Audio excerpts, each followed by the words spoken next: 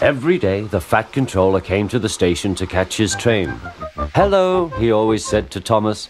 Remember, don't be impatient, Thomas. You can never be as strong and fast as Gordon, but you can be a really useful engine. Don't let the silly trucks tease you. There were lots of trucks, and Thomas worked very hard pushing and pulling them into place.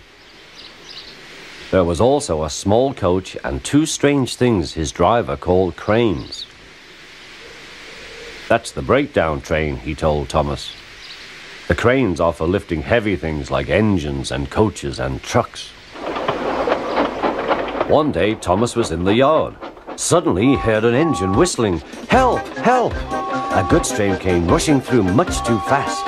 The engine was James, and he was frightened. His brake blocks were on fire. They're pushing me, they're pushing me, he panted. On, on, on, laughed the trucks. Still whistling, help, help! Poor James disappeared. I'd like to teach those trucks a lesson, said Thomas the tank engine. Soon came the alarm. James is off the line. The breakdown train, quickly!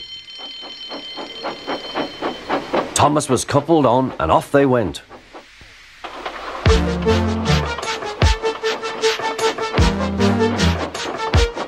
Thomas worked his hardest. Hurry, hurry, hurry, he puffed.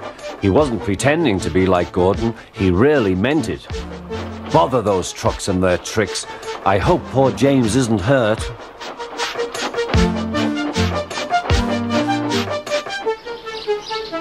James's driver and fireman were feeling him all over to see if he was hurt. Never mind, James, they said. It wasn't your fault. It was those wooden brakes they gave you. We always said they were no good.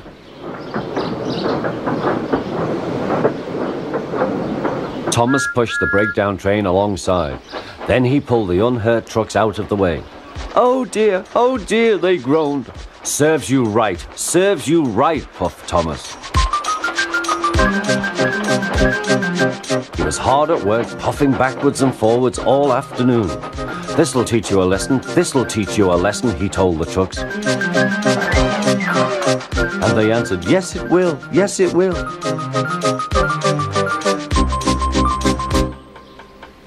They left the broken trucks, then with two cranes they put James back on the rails.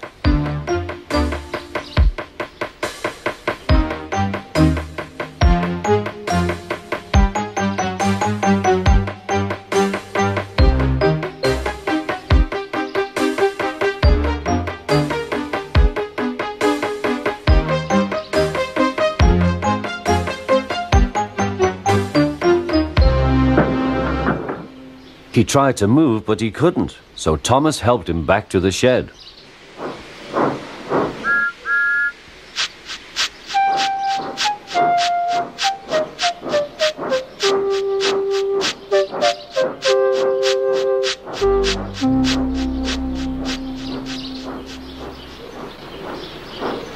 The Fat Controller was waiting anxiously for them.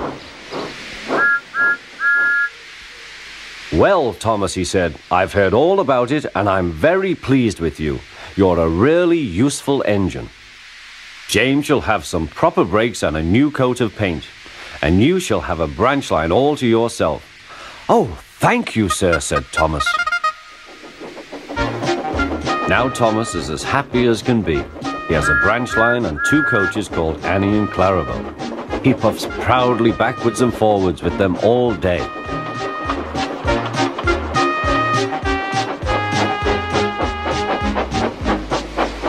He is never lonely.